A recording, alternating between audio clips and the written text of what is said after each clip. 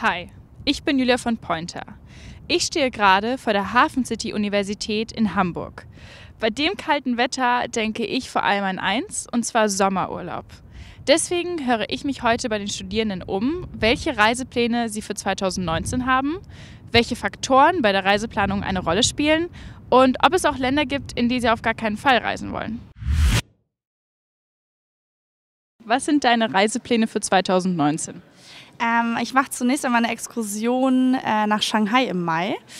Äh, das ist jetzt die erste Reise, die ansteht. Alle weiteren habe ich noch nicht geplant, aber wahrscheinlich kommt New York noch mit auf die Liste. Ich und meine Frau, wir überlegen nach Südafrika zu fahren und dort dann eine Safari zu machen und danach noch ein bisschen im Indischen Ozean unterwegs zu sein. Da ist in erster Linie angedacht, dass ich mit meiner Familie wahrscheinlich noch mal losfahre, so in den skandinavischen Raum, wir überlegen dann nach Norwegen oder Dänemark zu gehen. Welche Faktoren spielen für dich bei der Reiseplanung eine Rolle? Das kommt ganz drauf an, mit wem man unterwegs ist.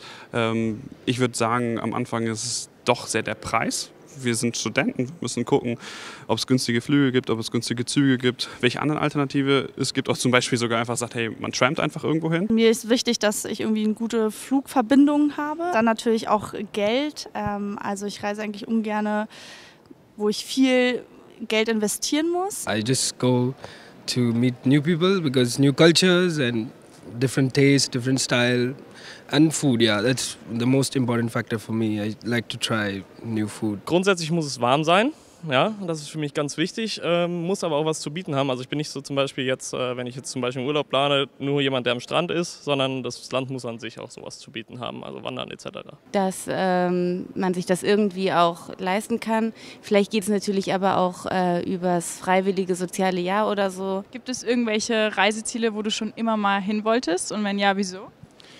Also ich möchte insbesondere ganz gerne an die Westküste Amerikas, also in die Staaten, weil ich finde, dass die Musikszene da sehr spannend ist. I would like to see the Northern Lights once because it's it's just beautiful. So it's something different and also die Alps. Südafrika, einfach weil mich die Kultur und das Land sehr interessiert und ich schon sehr viel Gutes darüber gehört habe. Es gibt ein Ziel, und zwar, das wäre Svalbard. Äh, das ist oben in der Antarktis, in der Arktis, so. Und ähm, warum ich dahin will, ich bin einfach von der extremen Natursituation da fasziniert. Also wie können Menschen und auch Tiere da unter so krassen Bedingungen bestehen und er erfolgreich leben. Kanada, weil man da ziemlich gut wandern kann äh, in den Rocky Mountains und äh, eventuell sogar zum Skifahren. Where do you get your inspirations for countries where you want to travel? Oh, it comes from my dad. He he works on the ship also, and he's traveled the world. I think twice. Ich lasse mich da insbesondere von Freunden inspirieren. Die posten da ganz viel auf Instagram und ähm, da fiebert man natürlich mit, wenn man sieht, okay, meine beste Freundin ist gerade irgendwie in Perth in Australien, mein Kumpel ist gerade irgendwie in Vancouver in Kanada und dann denkt man natürlich schon so, da möchte ich auch ganz gerne mal hin. Ich glaube auch von so Apps wie Urlaubspiraten oder Holiday Check, äh, aber auch Instagram und vor allen Dingen von Erzählungen von anderen Leuten. Meistens tatsächlich über Social Media oder im Bekanntenkreis. Also tatsächlich Instagram, Pinterest oder wenn man halt im Bekanntenkreis hört, wer wo war und da Bilder gezeigt werden. Gibt es irgendwelche Länder, wo du nicht hinreisen möchtest momentan? Klar, in Gebieten, wo es natürlich, wo momentan Krieg herrscht oder Krieggefahr ist oder es generell paar äh, ja, politische Probleme gibt, eher natürlich dann weniger. Lateinamerika ist immer relativ schwer, weil man da Spanisch sprechen muss. Ähm, mit Englisch kommt man nicht immer unbedingt weiter, gerade da, wo ich dann hin will, in, ziemlich weit in den Süden. Ähm, ich würde trotzdem hinfahren, aber es ist nicht ganz leicht. I think there are some places I can't go, you know, like restrictions and stuff like that.